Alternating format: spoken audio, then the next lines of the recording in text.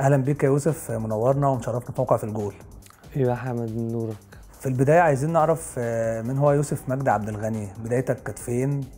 الأندية اللي أنت انتقلت ليها لحد ما وصلت دلوقتي في إيسترن كومباني بدايتي طبعا من أول سنة لخمس سنين كنت في النادي الأهلي. في ناشئين الاهلي بعد كده عشان كان مشوار بعيد قوي عليا ساكن أنا هنا في المهندسين لغاية مدينة نصر فكان جنبي هنا نادي الصيد. وشفنا بقى طبعا كلنا حازم إمام والناس اللي كانت بتطلع ساعتها نادي الصيد كان كان حاجة كويسة يعني. ناشئين نادي الصيد كان طول عمرها كويسين فرحت عندهم آه، اتربيت هناك لغاية آه، سن 14 15 سنة. بعديها سافرت جامعة آه، في لندن. لعبت هناك شوية في نادي نوتنغهام فورست B. بعديها انتقلت لأسبانيا نادي ريكامبيوس كولون في فالنسيا في سيجوندا B. آه، بعديها أبويا كان كان شايف إن أنا أرجع أبدأ تاني من من مصر أحسن عشان كان لظروف يعني عائلية كده. بدأت هنا النصر مع كابتن سيد عيد. رحت كابتن سيد سيد كابتن سيد عيد الحمد لله كنت ماشي معاه كويس. انتقلت بعديها لنادي النجوم. وبعديها شافني كابتن كابتن علاء نوح في ايسترن كومباني في بداية الموسم. والحمد لله يعني وبس يعني ربنا يكرم بقى في اللي جاي. قلت إنك بتتجنب إن الناس تعرف إنك ابن كابتن مجدي عبد الغني. السبب ده إيه؟ طبعا بتبقى ضغوط جامدة قوي على على أولاد اللاعبين أنا بحس بيها ضغوط بس الحمد لله الواحد بقاله 27 سنة في الضغوط دي فبتبقى واخد عليها أكتر. الناس بتبص لك طبعا أول حاجة إن أنت جاي متجامل أو أو واسطة أو أي حاجة من الحاجات دي فلازم تاخد مجهود أكتر وتركيز أكتر إن أنت تحاول تثبت العكس. فالناس بتحاول تطلعك بره تركيزك بس الحمد لله قعدت فترة أنا مستخبي من من يوسف مجدي عبد الغني كان الناس شايفة بس يوسف مجدي لغاية لما ضربة الجزاء بقى بتاعه الماتش اللي فات غزل المحلة أول بقى لما الناس شافوا يوسف مجدي عبد الغني ربطوه على طول وخدوا بالهم يعني. طيب هل حصل ليك مواقف كوميدية أو محرجة عشان أنت ابن الكابتن مجدي عبد الغني؟ يعني ما ممكن أقول لك بتاعت امبارح الحاجات بتاعتنا كلها يعني مش مفيش حاجة قوي في بالي دلوقتي بس يعني كل حاجة ما بتتقالش على الهوا. كلها حاجات هزار بيني وبين الناس بس آه، امبارح مثلا لما قارنوا بين الجون ده وده وقال لك ده هيذلنا تاني آه، 25 سنة كمان الجون امبارح وهو نزل صورة كده تويتة يعني اللي هو قال لك ابن الوز عوام وبتاع. بالظبط. مع إن هي مختلفة تماما طبعا بتاعته في كأس العالم ضغوط آه، تانية خالص وجمهور آه، استاد مليان على آخره وحاجات كده أصعب بكتير. بس آه، برضه يعني المحله ملعب رعب برضه آه، بصراحة اتفرجت على ضربة جزاء الكابتن مجدي عبد الغني في في هولندا كام مرة؟ 27 سنة ما بتفرجش غير عليها. إعلانات كل يوم جايباها و... وفي البيت هو هو أصل هو ده أبرز جون أهم جون هو جايبه مع ان هو جايب جون أحلى بكتير بس ده أهم جون هو جايبه طبعا. فلا اتفرجت عليه فوق المليون مرة مثلا. بعيدا عن الإعلام بقى مجدي عبد الغني بيتكلم عن ضربة جزاء يعني في البيت إزاي؟ طبعا زي ما كابتن كنت مع كابتن إبراهيم فايق في مداخلة قعد يقول لي برضه حاول بيقعد يشرح وقد إيه كانت صعبة و... وإن هو كان بيجيبها في أحسن جون في العالم وقتها و...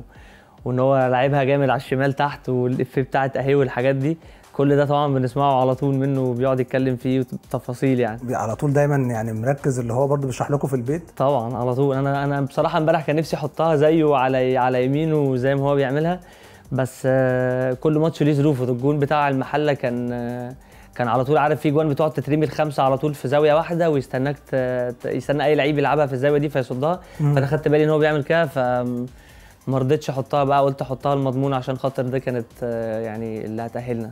طيب وأنت داخل تشوط ضربة جزاء في غزل المحلة هل جه في سيناريو قدامك ضربة جزاء آه، مجدي عبد الغني في هولندا؟ أنا من وأنا صغير السيناريو ده بيتعاد في دماغي على طول يعني كنت بقول تخيل أنا رحت كأس العالم بعده وجبت جون كأس العالم بعده كان ده كان هيبقى في رهيب بس طبعا محمد صلاح آه، خلص القصة دي على طول يعني.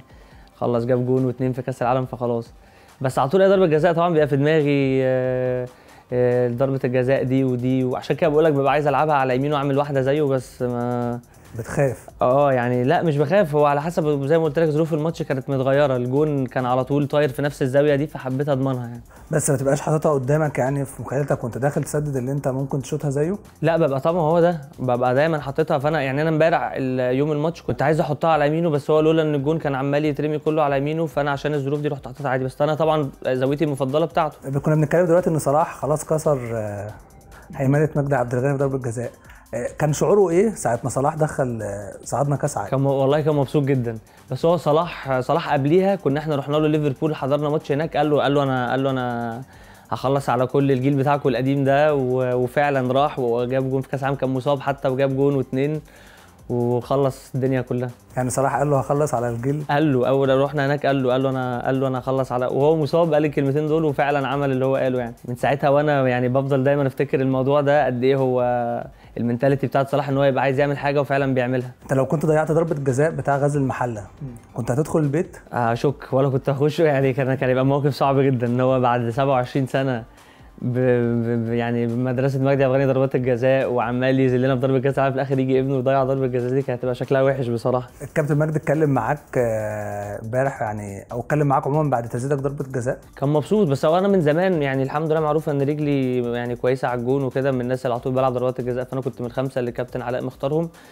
بس طبعا كان مبسوط جدا. أنا أنا أكتر حاجة بسطتني امبارح إن هو كان مبسوط قوي لما لما شاف ضربة الجزاء وقارنهم ببعض وبتاع فكانت حاجة كويسة يعني. كابتن مجدي عبد الغني بيكون شكله إيه والناس بتسدد ضربات الجزاء؟